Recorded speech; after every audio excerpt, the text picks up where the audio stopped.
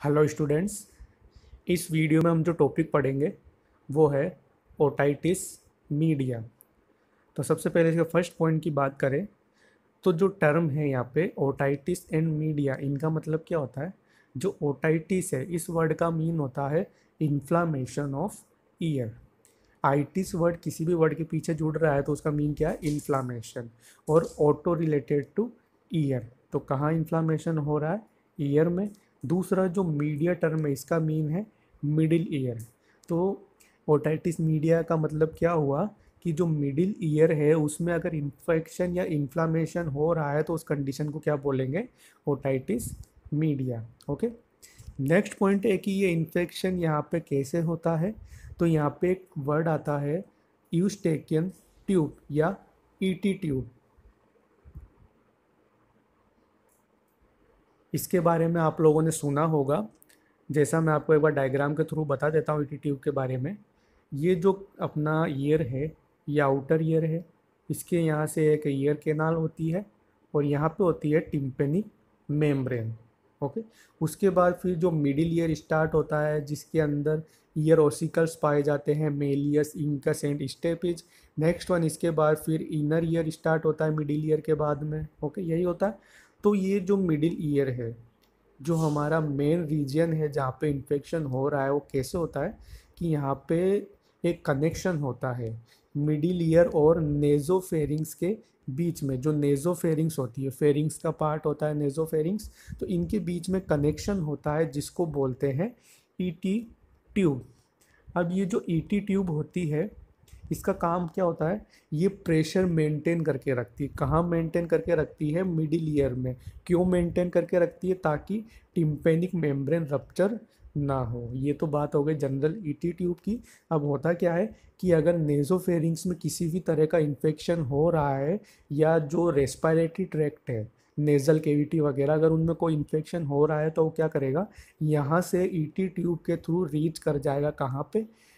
Middle ear में। तो इस तरह से ईटी ट्यूब के थ्रू इन्फेक्शन पहुँचता है और मिडिल ईयर में और यहाँ पे इन्फेक्शन कोस होता है। ओके नेक्स्ट पॉइंट है it is the most common disease of middle ear in children and does occur in adult जो ओटाइटिस मीडिया कंडीशन है, ये ज़्यादातर बच्चों में देखने को मिलती है, एडल्ट्स में भी होती है, बट ज़्यादा केस बच्चों में होते हैं। ऐसा क्यों होता है? इसके पीछे भी एक वजह होती है।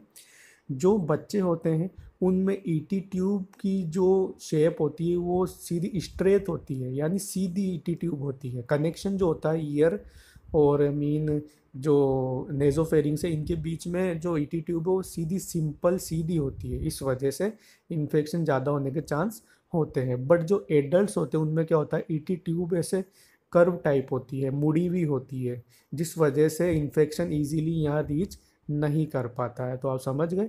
बच्चों में जो ईटी ट्यूब सीधी होती है, इस वजह से सीधा इन्फेक्शन यहाँ पहुँच जाता है मिडिल ईयर में। बट जो एडल्ट होते हैं, इनमें जो ईटी ट्यूब होती है, वो मुड़ी हुई होती है कर्व्ड होती है, जिस वजह से इन्फेक्शन ईजीली कान में पहुँच नहीं पाता है। तो ये वजह होती है बच्चों में इन्फेक्शन ज़्यादा होने की। ओके तो अब नेक्स्ट अब बात करते हैं। इसके बाद अपन इसके क्लासिफिकेशन की। तो जो ओटाइटिस मीडिया दो टाइप का होता है एक्यूट एंड क्रोनिक। तो एक्यूट ओटाइटिस मीडिया क्या होगा कि अगर कंडीशन सडन हो रही है और जो सिम्टम्स है, उनका ऑनसेट एकदम हो रहा है। अचानक से सिम्टम एराइज हो रहे हैं, कुछ टाइम के लिए हो रहे हैं तो उसको क्या बोलेंगे? एक्यूट ओटाइटिस मीडिया और तो जनरली जो कोज होती है, वो बैक्टीरिया होते हैं। बैक्टीरिया की वजह से इन्फेक्शन होता है ज़्यादातर। नेक्स्ट वन है, इसके बाद क्रोनिक ओटाइटिस मीडिया क्रोनिक क्या होगा कि अगर जो इन्फेक्शन है वो बार बार हो रहा है रिपीटेड हो रहा है और लंबे टाइम तक अगर इन्फेक्शन चल रहा है, ठीक नहीं हो रहा है तो उसको बोलेंगे क्रोनिक ओटाइटिस मीडिया अब इसमें होता क्या है कि जो मिडिल ईयर है, उसके सराउंडिंग जो टिश्यूज़ होते हैं, जो सराउंडिंग जो पार्ट्स होते हैं मिडिल ईयर के, वो क्या होते हैं, वो भी इसमें इन्वॉल्व हो जाते हैं और वो भी डैमेज होने लग जाते हैं। तो उस कंडीशन को क्या बोलते हैं chronic otitis media next one ये तो बात हो गई क्लासिफिकेशन की, अब बात करते हैं इसकी कोजेस की। तो इसमें जो मेन कोज है, वो बैक्टीरियल कोज होती है like streptococcus pneumoniae bacteria haemophilus influenzae and moraxella ये मेन बैक्टीरिया होते हैं जो इन्फेक्शन कोज करते हैं। नेक्स्ट वन इसके बाद है वायरल कोज में बात करें तो rhino virus and respiratory syncytial virus या आर वायरस ये मेन वायरस होते हैं जो कोज कर सकते हैं। राइनो वायरस आपको पता है जो राइनाइटिस कंडीशन कोज करता है, यानी inflammation is sorry inflammation in nasal cavity जो राइनाइटिस की कंडीशन होती है, उस वजह से इन्फेक्शन कोज हो सकता है ईयर में। क्यों होगा? क्योंकि अगर ईयर नोज़ में इन्फेक्शन होगा तो वो ई टी ट्यूब के थ्रू कहाँ पहुँच जाएगा? ईयर में ओके अब यहाँ पे कुछ रिस्क फैक्टर्स भी हो सकते हैं, जिनकी वजह से भी इन्फेक्शन कोज हो सकता है।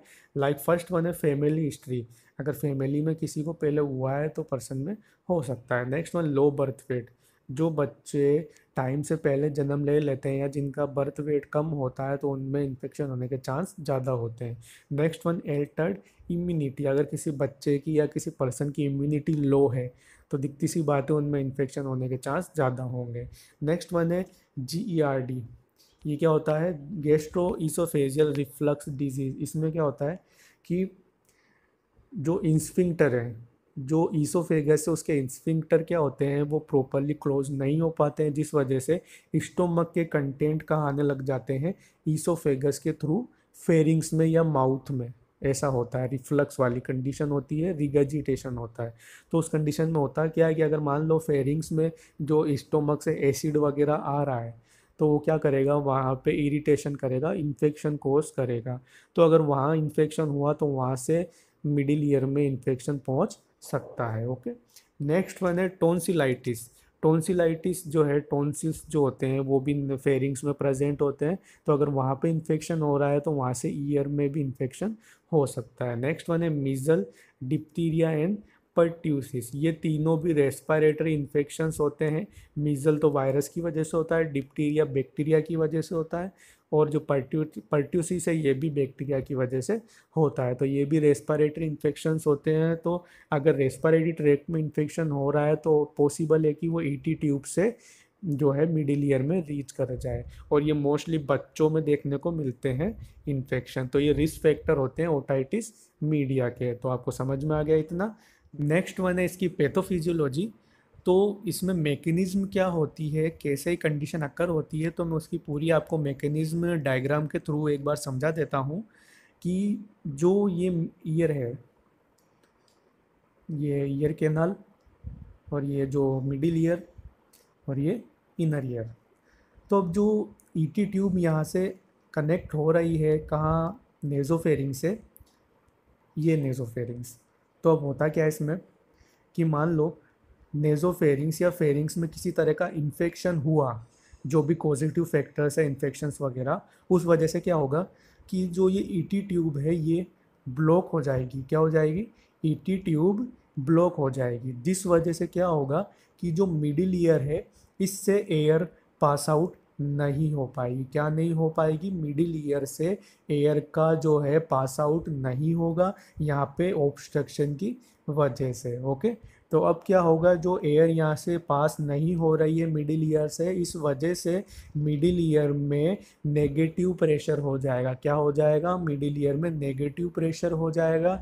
नेक्स्ट वन यहाँ पे नेगेटिव प्रेशर होने की वजह से जो मिडिल ईयर की केविटी है, इसके अंदर क्या हो जाएगा? एफ्यूजन हो जाएगा। मीन्स फ्लूड का फॉर्मेशन हो जाएगा, यहाँ पे फ्लूड भर जाएगा। और जो यहाँ पे फ्लूड भरेगा, उस वजह से यहाँ पे क्या होगा? यहाँ पे जो इन्फेक्शन है, वो ग्रोथ करने लग जाएगा, जो माइक्रो ऑर्गेनिज्म है, वो यहाँ पे ग्रोथ करने लग जाएँगे। और जैसे ही यहाँ पे माइक्रो ऑर्गेनिज्म की ग्रोथ होने लग जाएगी तो यहाँ पे क्या कंडीशन कोज होगी? एक्यूटोटाइटिस मीडिया इतना आपको समझ में आ गया। कि जो नेज़ोफेरिंग्स में इन्फेक्शन हुआ, उस वजह से ईटी ट्यूब ब्लॉक हो गई। और ईटी ट्यूब ब्लॉक होगी तो क्या होगा? मिडिल ईयर में नेगेटिव प्रेशर इंक्रीज होगा। उस नेगेटिव प्रेशर की वजह से यहाँ पे फ्लूड का फॉर्मेशन होगा। और फ्लूड अगर यहाँ पे भरेगा मिडिल ईयर में तो यहाँ पे माइक्रो ऑर्गेनिज्म की ग्रोथ होने लग जाएगी और कौन सी कंडीशन कोज होगी? एक्यूट ओटाइटिस मीडिया अब जो एक्यूट ओटाइटिस मीडिया हुआ है, उस वजह से नेक्स्ट क्या होगा कि अगर यहाँ पर रिपीटेटिव इन्फेक्शन हो रहा है बार बार इन्फेक्शन हो रहा है तो क्या कंडीशन होगी? कि मिडिल ईयर के जो अदर पार्ट्स है लाइक जो ईयर ओसिकल्स वगैरह हैं और जो सराउंडिंग टिश्यूज़ हैं, वो भी डैमेज होने लग जाएँगे। और अगर सराउंडिंग टिश्यूज़ भी यहाँ पे डैमेज हो रहे हैं बार बार इन्फेक्शन हो रहा है तो उस कंडीशन को क्या बोलेंगे? क्रोनिक ओटाइटिस मीडिया तो आपको ये कंडीशन समझ में आ गई पैथोफिजियोलॉजी ओके एक बार आप ये जो आप इसकी, जो मैंने आपको नोट्स दे रखे हैं, आप ये देख लीजिए और पॉज करके आप इसको लिख सकते हैं। जो ये देख लीजिए ड्यू टू इटियोलॉजिकल फैक्टर जो भी मैकेनिज्म हो रही है पॉज करके आप इसको लिख लेना। ये नीचे वाला पॉइंट ओके तो ये बात होगा इसकी पैथोफिजियोलॉजी की। आई होप ये समझ में आ गया होगा आपको। नेक्स्ट वन अब बात करते हैं अपन इसके साइन सिम्टम्स की। तो फ़र्स्ट वन है यहाँ पे sudden and severe otalgia otalgia का मीन होता है ईयर पेन तो यहाँ पे पर्सन को बहुत तेज सीवियर तरीके से कान में पेन होगा, जिसको बोलेंगे otalgia next one hearing loss भी यहाँ पे हो सकता है ओके क्योंकि टिम्पेनिंग मेम्ब्रेन यहाँ पे अगर रप्चर हो जाए तो यहाँ पे ईयरिंग लॉस होगा। नेक्स्ट वन है टीनीटस टीनीटस का मतलब होता है रिंगिंग सेंसेशन जो पर्सन होगा, उसको कान में ऐसा सुनाई देगा कि घंटियाँ बज रही है, कोई रिंगिंग सेंसेशंस होंगे। Next one sense of fullness in the ear कान में भारीपन लगेगा। क्यों लगेगा? क्योंकि मिडिल ईयर में फ्लूड भर रखा है। उस वजह से पर्सन को कान में भारीपन लगेगा इन्फ्लामेशन की वजह से। नेक्स्ट वन इरिटेबिलिटी रहेगी। क्यों रहेगी? क्योंकि पर्सन को सुनाई नहीं दे रहा है पेन हो रहा है तो चिड़चिड़ा रहेगा पर person okay next one mastoid tenderness जो मेस्टोइड बोन है, जो मेस्टोइड प्रोसेस है, जो कान होता है आउटर ये उसके पीछे एक उभार होता है, जिसको बोलते हैं मेस्टोइड प्रोसेस तो ये पार्ट जो होगा, इसमें स्वेलिंग रहेगी ओके? नेक्स्ट वन है फीवर यहाँ पे देखने को मिल सकता है इन्फेक्शन की वजह से। नेक्स्ट वन हेडेक भी रहेगा पर्सन को। वोमिटिंग भी यहाँ हो सकती है। वोमिटिंग और बैलेंस प्रॉब्लम ये क्यों यहाँ पे देखने को मिलेगी? क्योंकि आपको पता है इनर ईयर में दो पार्ट होते हैं। Vestibular system and cochlea system cochlea system तो हियरिंग में हेल्प करता हो जो वेस्टिबुलर सिस्टम है, वो बैलेंस मेंटेन करके रखता है। तो अगर यहाँ पे वेस्टिबुलर सिस्टम भी अफेक्ट हो रहा है तो पर्सन को वोमिटिंग और बैलेंस प्रॉब्लम हो सकती है ओके तो ये तो बात हो गई साइन एंड सिम्टम्स की। नेक्स्ट वन अब इसके बाद बात करें डायग्नोस्टिक वैल्यूएशन की तो इसमें सबसे पहले पर्सन की हिस्ट्री कलेक्ट करेंगे, जो प्रेजेंट पास्ट मेडिकल एंड जो फैमिली हिस्ट्री है, वो कलेक्ट करेंगे।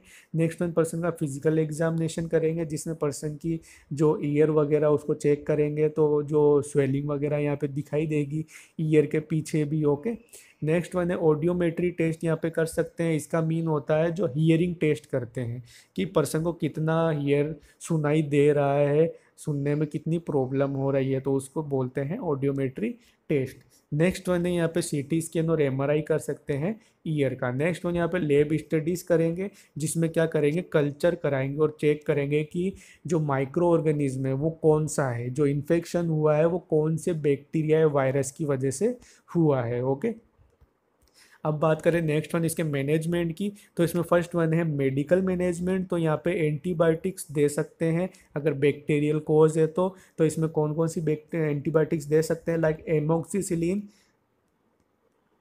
sorry amoxicillin with clavulanic acid ये कॉम्बिनेशन में ड्रग्स दे सकते हैं इफ़ेक्टिव ट्रीटमेंट के लिए। नेक्स्ट वन यहाँ पे एनालजेसिक्स और एंटीपायरेटिक्स ड्रग्स भी दे सकते हैं like PCM and ibuprofen pain और पे जो फीवर है उसको रिलीव करने के लिए। नेक्स्ट वन अब बात आती है यहाँ पे सर्जिकल मैनेजमेंट की। तो इसमें मैं सर्जरी जो है वो है टिम्पेनोसिंथेसिस ये प्रोसीजर क्या होता है?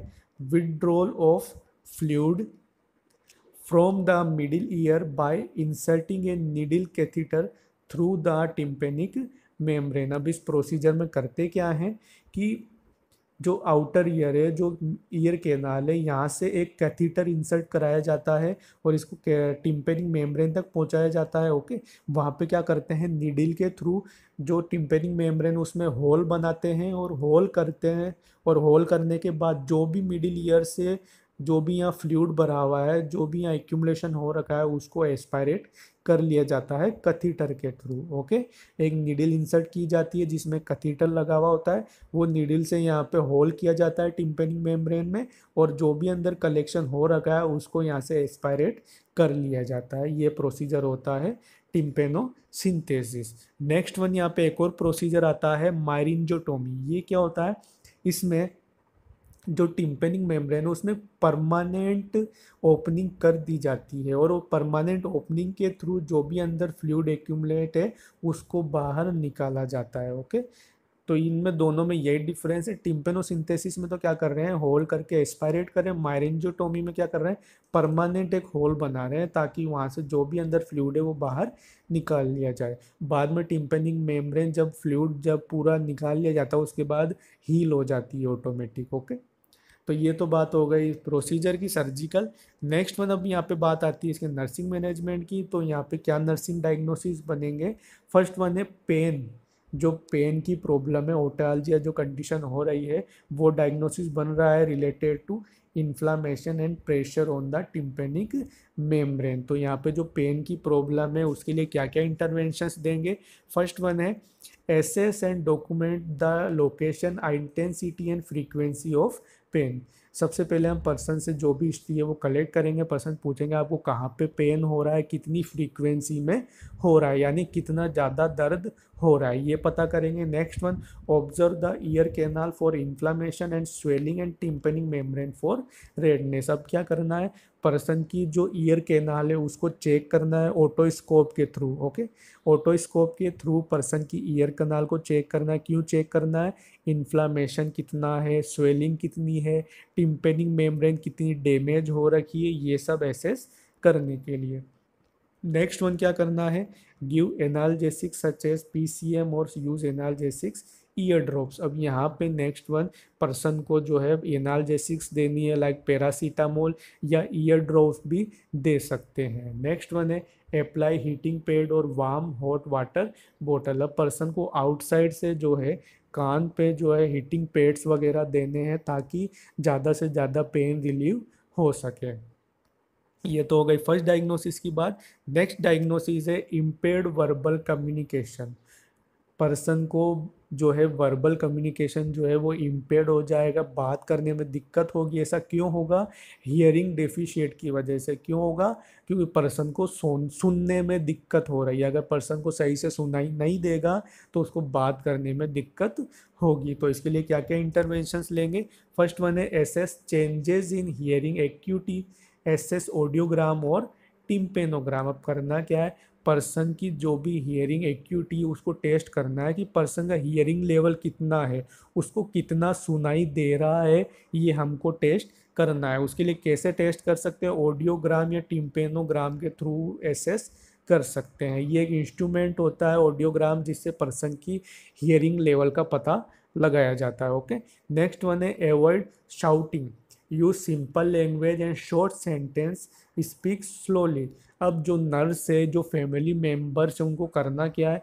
पेशेंट के सामने तो ज़ोर से चिल्लाना नहीं है धीरे धीरे बोलना है और सिंपल सेंटेंस यूज़ करने हैं। सीधी तरह से बात करनी है पेशेंट से ताकि पर्सन को सुनने में आसानी हो ओके नेक्स्ट वन है prepare patient for ear surgery such as tympanoplasty अब पर्सन को जो है सर्जरी के लिए प्रिपेयर भी करना है। अगर सर्जरी होने वाली है तो उसको प्रिपेयर करना है। अब नेक्स्ट वन है, इसके बाद डायग्नोसिस रिस्क ऑफ़ इन्फेक्शन यहाँ पे इन्फेक्शन के चांस और ज़्यादा होंगे, क्योंकि पर्सन को पहले से इन्फेक्शन है और पर्सन ज़्यादा प्रोन है इन्फेक्शन के लिए, क्योंकि जो टिम्पेनिंग मेम्ब्रेन उसमें भी होल हो रखा है तो माइक्रो ऑर्गेनिज्म ग्रोथ होने के चांस होंगे। तो अगर इन्फेक्शन की रिस्क है तो उसके लिए क्या क्या इंटर इंटरवेंशन लेंगे यहाँ पे? सबसे पहले assess symptoms include otalgia otorrhoea hearing loss and vertigo. सबसे पहले जो है पर्सन में क्या क्या लक्षण दिखाई दे रहे हैं, उनको एसेस करना है। लाइक जो ओटालजिया है ईयर पेन है। ओटोरिया का मीन्स होता है ईयर ड्रेनेज ड्रेनेज जो हो रहा है ईयर से, उसको बोलते हैं otorrhoea hearing loss and vertigo जो चक्कर आ रहे हैं वगैरह, इन सबको एसेस करना है। Next one perform otoscopic examination check for drainage in ear canal person को ऑटोस्कोपी एग्जामिनेशन करना है और देखना है कि कितना ड्रेनेज हो रहा है, किस टाइप का डेमे ड्रेनेज हो रहा है। उसमें पस वगैरह तो नहीं है, ये सब हमको एसेस करना है। नेक्स्ट वन है administer antibiotics antipyretics and anti inflammatory drugs as prescribe अब पर्सन को नेक्स्ट वन यहाँ पे एंटीबायोटिक्स देनी है एंटीपायरेटिक्स देनी है और एंटी इन्फ्लामेटरी ड्रग्स देनी है। क्यों देनी है? इन्फेक्शन फीवर और इन्फ्लामेशन को कम करने के लिए। Next one encourage patient for adequate nutrition rest and exercise and for washing hands frequently अब नेक्स्ट वन हमको पेशेंट को क्या करना है? Encourage करना है कि आपका जो न्यूट्रिशन लेवल है, उसको मेंटेन करके रखें। आप हेल्दी डाइट लें। दूसरा, आप अपने हाथ प्रॉपरली धोएँ ताकि इन्फेक्शन का खतरा कम हो ओके और लास्ट यहाँ पे नर्सिंग डायग्नोसिस आता है फियर और anxiety related to surgical procedure जो पेशेंट होगा और जो फैमिली मेंबर्स होंगे, उनको फियर रहेगा, डर रहेगा एनजाइटी रहेगी सर्जरी से या ट्रीटमेंट से रिलेटेड तो अब यहाँ पे इसके लिए क्या इंटरवेंशन देंगे? सबसे पहले assess and observe patient for anxiety patient को सबसे पहले हमें ऑब्ज़र्व करना है उससे क्वेश्चंस वगैरह करने, उनसे पूछना है कि आपको कितनी एनजाइटी हो रही है, हमको पता लगाना है। इस बारे में okay next one explain procedure detail to patient and his family अब हमको क्या करना है? हमने पर्सन से जो भी डाउट वगैरह है, वो हमने उससे पूछ लिए। अब हमको जो भी प्रोसीजर वगैरह है, जो भी ट्रीटमेंट है, उसके बारे में पेशेंट और फैमिली मेंबर्स को अच्छे से समझाना है, ताकि उनकी एनजाइटी कम हो। Next one assess vital signs timely जो भी पर्सन के वाइटल साइंस है, उनको एसेस करते रहना है।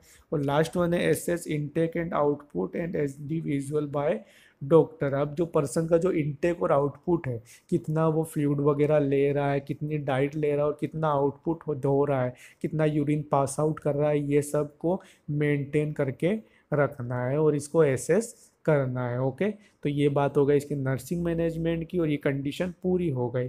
तो अगर आपको इसमें कोई भी प्रॉब्लम हो तो आप मुझे कमेंट करके पूछ लीजिए। Thank you